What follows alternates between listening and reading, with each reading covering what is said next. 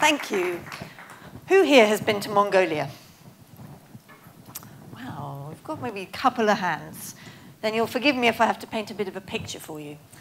You can imagine me and my best friend, aged 20, unbelievably dirty, filthy, head to toe filth, sitting on the edge of a dirt track in the middle of the steppe, looking out across the Altai Mountains as we tried to hitchhike from Ulaanbaatar in the middle of Mongolia to goodness knows where in the middle of Kyrgyzstan.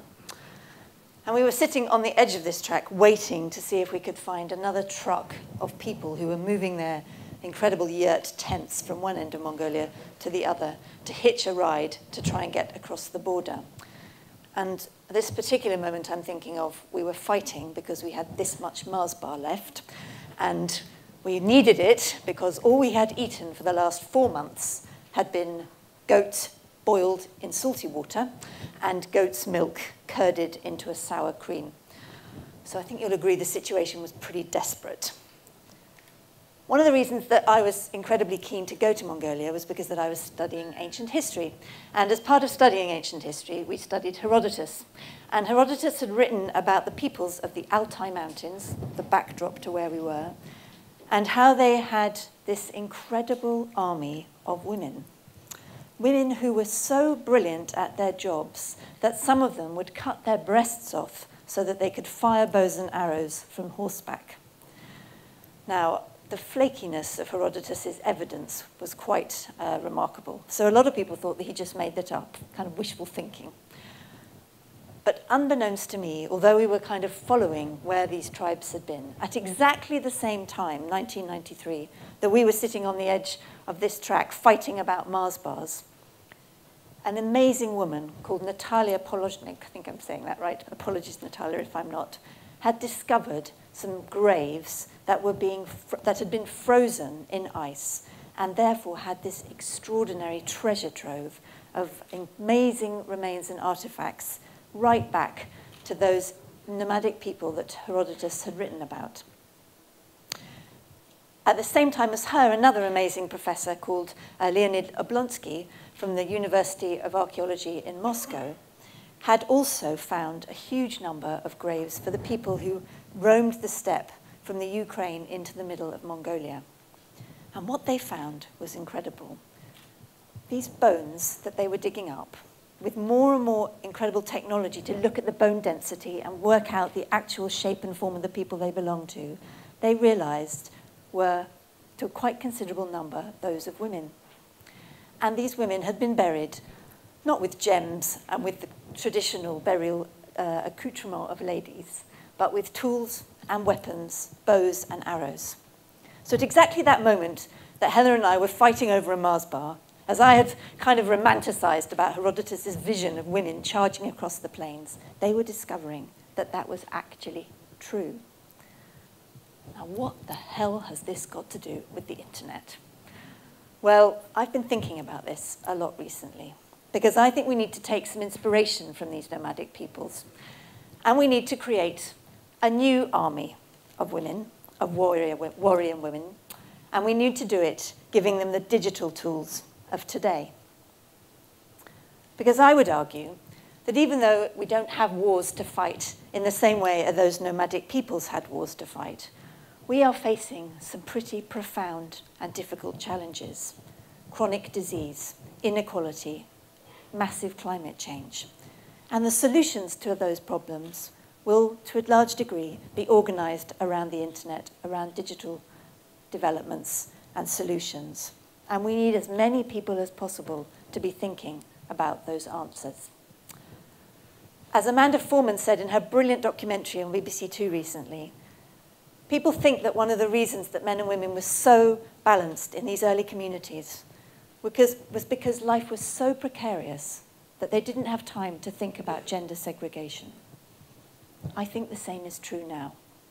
I think we here in the UK have an amazing opportunity if we could just throw our imagination out there to create the most gender balanced technology sector in the world. And I believe that by doing that, we'll be much richer at an individual level and at a national level. It wasn't always as profoundly upsetting and depressing as I find the sector now. Back in the early days of computing, as you probably know, a lot of the very early engineers and women using these early computation, people using these early computational machines were women. The first machine that people call a computer was actually built by the Lyons Teacake factory. That is not why women were working on it. But the first computer, in quotation marks, that they discovered was called Leo, and it allowed them to measure the amount of cakes that they were creating in the factory. And it's widely regarded as one of the first computing machines. And the people that were trained to use it were all women. I was lucky enough to meet one, a woman called Mary Coombs. And she had an incredible and long history working in that early computing industry. She went from working on Leo in the Lyons cake factory in the 50s to then working on the first premium bond machine, Ernie, which was also populated a lot by women, and then for an absolutely remarkable woman called Dame Stephanie Shirley, who I'm sure many of you have heard of, who started a company in the late 1960s. She thought that she could kind of blow apart the models of working because of this amazing new technology. She wanted to employ only women working from home building software. And she wanted to do it using uh, government contracts. So no kind of fluffy software development for her. She wanted the women in her workforce to be building the Polaris submarine, the black box for Concorde. Now, she's funny about getting her story, her company going, because she says that she wrote to pretty much every single department of government, telling them about this incredible workforce that she had up her sleeve of women at home. Nobody took her seriously until she started signing the letters with the name Stevie, her nickname, not Stephanie, And then, hey presto, she was in front of many ministers and started getting contracts. But what I find really inspiring about Stevie's story is that at one time she had 2,000 women, all coding, all working from home on these really knotty, difficult problems. The black box for Concorde, the Polaris submarine. Now, doesn't that blow apart quite a lot of stereotypes that we hear about now? Stevie's funny because she says that the thing that really screwed her company up was the Equal Pay Act and the Equalities Act, which was obviously brilliant for women in the round, but meant that she had to start employing men. now, what I find really strange, baffling, and I have to say now depressing is that that brave new world of the 50s and 60s, where women were really an equal part of this exciting and amazing technology revolution, has changed and become something quite different. Even me, as someone friendly described to me as the other day, a dot-com dinosaur, thought, age 25, in 1997, when we started lastminute.com, that this was going to be an incredible revolution that part of the power and the excitement of the internet was that it was going to be a whole load of new voices, a whole load of different people, a democratizing force, something really that could perhaps put equality of all kinds at the heart of its new and rapid um, industrial rise. But that has not happened.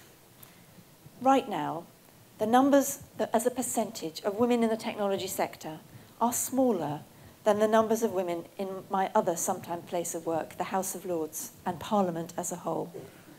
And I find that very, very strange. Parliament, created through time, medieval times, arguably, and the technology sector, which has really only been around for the last 20 or 30 years. The numbers of women founding businesses are around 10%.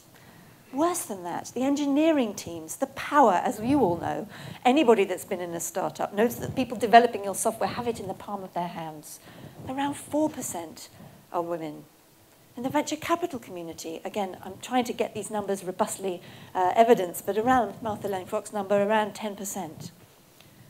I don't think that's okay. Because to me, this is still one of the most exciting and powerful industries in the world, and we know that it's growing in importance to the economy. And more than that, we also know that products co-created by men and women are much more successful. Hello, Apple, remember your health kit?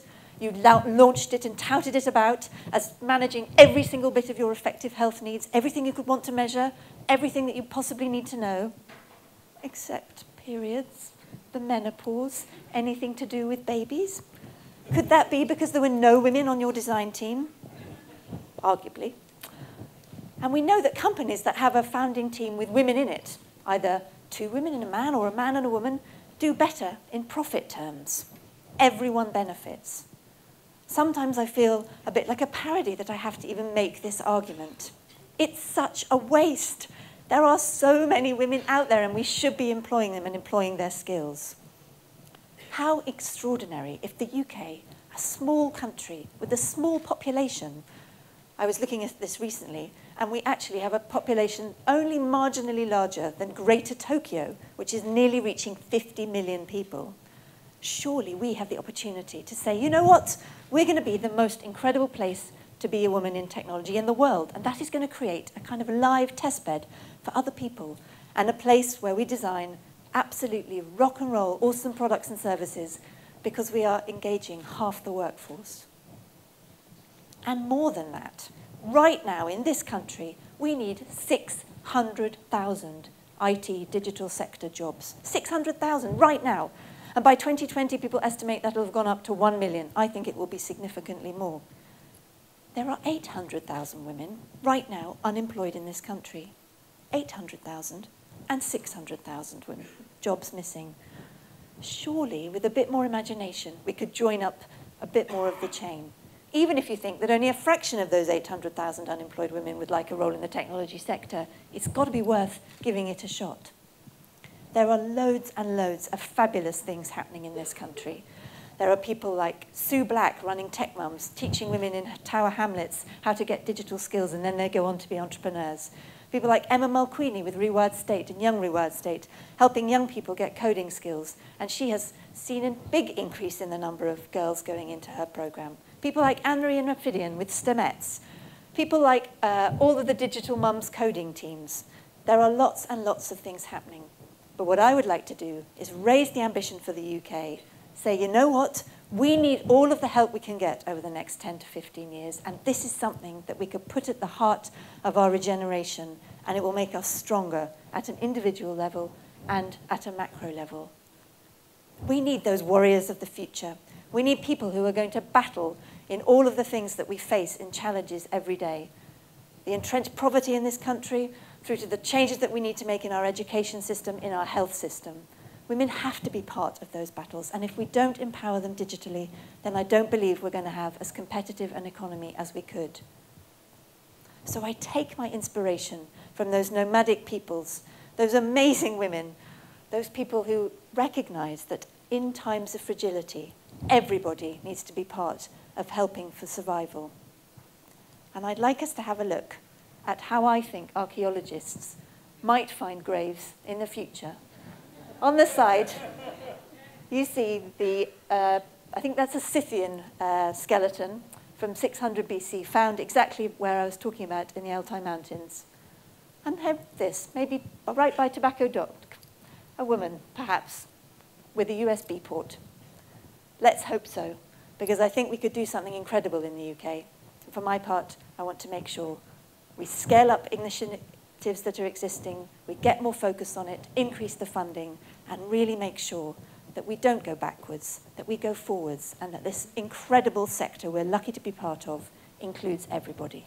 Thank you.